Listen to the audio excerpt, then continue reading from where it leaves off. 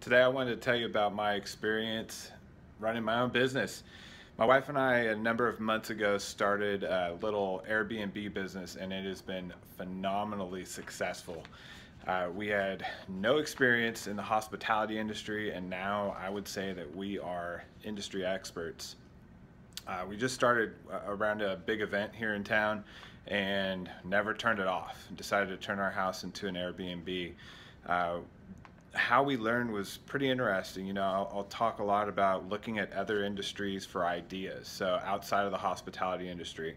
But I, I think the number one way that we learned how to perfect our Airbnb for our guests is when we traveled, or as often as we could, go to other people's Airbnbs in other cities. Go to our competition, see what they're doing right, see how we feel when we check in, how we feel when we enter the room, the interaction with the hosts, and really analyze our own personal experience with those other hosts and make the changes to our own Airbnb.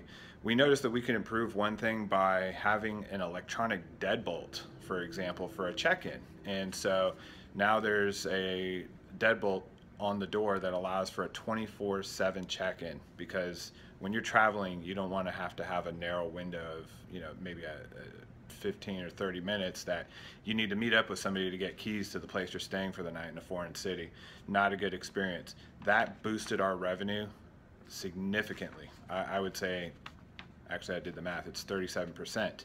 So repeat guests also told us that having a consistent experience was very, very that, that's why they chose to come back with us is the consistent experience. They knew what they were going to get every single time they stayed with us.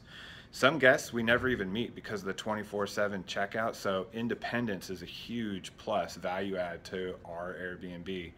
And so what I would say in closing is when you're thinking about your own business, think outside the box, look at other industries, see what they're doing, look at ways to automate, look at ways to make your guest experience more convenient for them, and you're sure to succeed, drive revenue, and repeat guests or customers. My name's Nathan Rice, and I would love to talk with you about ideas on how to boost your customer experience, your revenue, and you can click on the phone number below, save it in your phone, call me up 24 7. I'll be happy to talk with you about that.